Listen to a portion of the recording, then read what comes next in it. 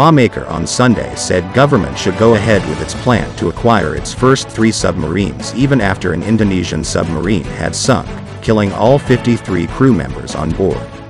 Submarines should be a part of the Philippines' defensive combat ships as it is an archipelago, said Surigao del Sur Representative Johnny Pimentel.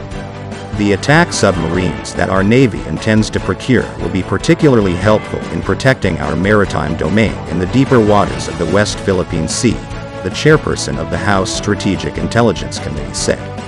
They can stealthily conduct intelligence, surveillance and reconnaissance operations against unwelcome Chinese maritime militia vessels.